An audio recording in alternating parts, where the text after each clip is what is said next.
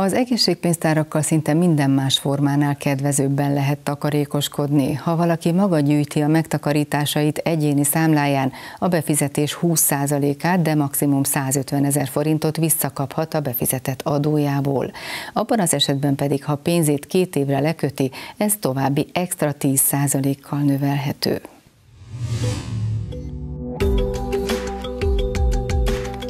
Az idén életbe lépett törvénymódosításnak köszönhetően több egészségpénztár is palettájára vette az önsegélyezést. A kasszákban akár éveken át lehet gyűjtögetni a pénzt, amit időközben szükség esetén bármikor fel is lehet használni. A szakértők szerint nincs még egy olyan megtakarítási forma, ami ennyire rugalmasan és széles körűen használható, miközben az elérhető adókedvezmény itt is a legmagasabb. Úgy tűnik, hogy ezt egyre többen ismerik fel. A Magyar Nemzeti Bank adatai szerint idén az első fél évben összesen 34 ezer léptek be újonnan az egészségpénztárakba.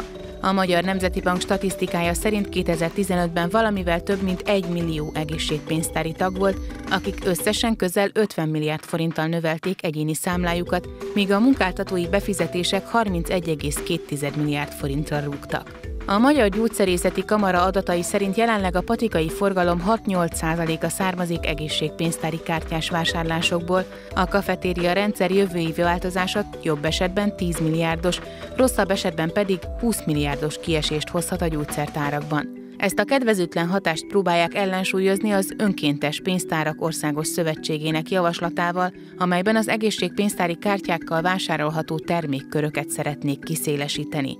Ennek célja, hogy a garantált minőségű étrend kiegészítők bevonásával és a termék szerinti elszámolás helyett az egészségügyi szolgáltatóval történő elszámolásra váltással növelnék a gyógyszertári forgalmat.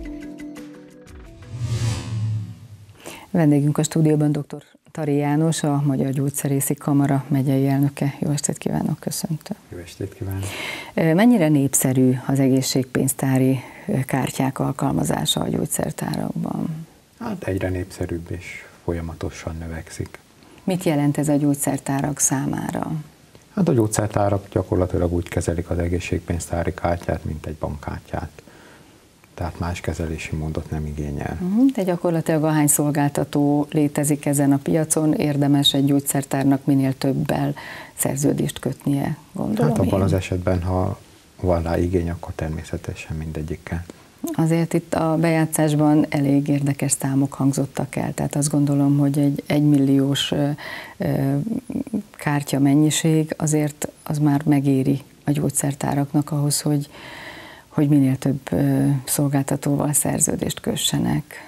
Hát Hiszen akinek van kártyája, az nyilván olyan helyen fog vásárolni. Nincs, egy másik gyógyszertárba, és akkor ott fogja levásárolni.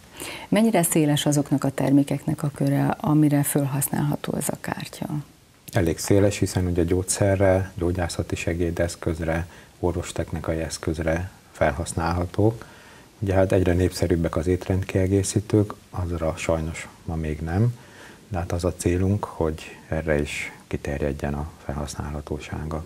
Van erre lehetőség a gyógyszerészkamarának, hogy ebbe az irányba próbálja elősegíteni a folyamatot? Hát reméljük, hogy igen, hiszen már meg is tettük az első lépést az Egészségpénztári Szövetséggel egy együttműködési szerződést kötöttünk, és közösen kezdeményezzük ennek a egészségpénztárnak a kártyák elfogadásának a módosítását a minisztériumban. A megyei gyógyszertárakban mennyire népszerű ez, mennyire elterjedt, illetve van-e még egyáltalán olyan gyógyszertár, ahol nem lehet ilyen kártyával fizetni? Hát pontos számokat én sem tudom, de remélem, hogy nincs olyan gyógyszertár, ahol nem lehet elfogadni, hiszen, mint mondtam, azért ennek a, a mennyisége jelentősen megnőtt az utóbbi években, tehát azért egy 5-10 százalék körülére tehető a, a, az egészségpénztári kártyák száma, úgyhogy mindenféleképpen értek a gyógyszertárnak, hogy elfogadja. Jelente ez a gyógyszertáraknak valamilyen plusz feladatot, munkát, vagy az elszámolásban valami nehézséget? Hát amennyiben a, a gyógyszertár szerződés kötött a szolgáltatóval, az elszámolhatóság is mehet elektronikusan, úgy semmiféle különbséget nem jelent, tehát ugyanúgy, mint a, a bankkártyával elmegy elektronikusan az elszámolás, és utána megkapja az érte járó összeget.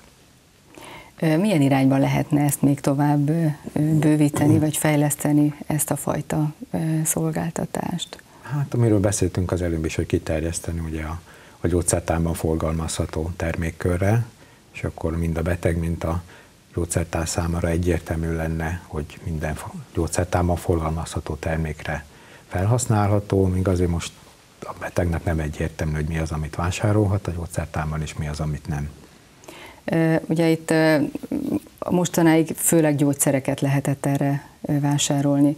Ugyanakkor azért összességében nagy cél nem lehet, hogy, hogy túl, így is túl sok gyógyszert fogyasztanak a, a, a magyar lakosok. Tehát ez is azt indokolná, hogy, hogy egyéb termékekre is azért föl lehessen használni ezeket a, a kártyákat. Természetesen, hát én remélem, hogy a gyógyszervásárláson nem a kártya használata ösztönzi, hanem csak valóban akkor veszi meg, hogyha szükséges, akkor viszont fizethet ugye vele, és a, a készpénzt azt megkíméli. Minden mellett azért jó tudni, hogy nem csak gyógyszerekre lehet ezt a kártyát használni, hanem szolgáltatásokat is igénybe lehet venni, ami viszont már nem gyógyszertári kompetencia. Igen. Dr. Tari János, köszönjük, hogy befáradt hozzánk a stúdióba és rendelkezésünkre állt. Én is köszönöm.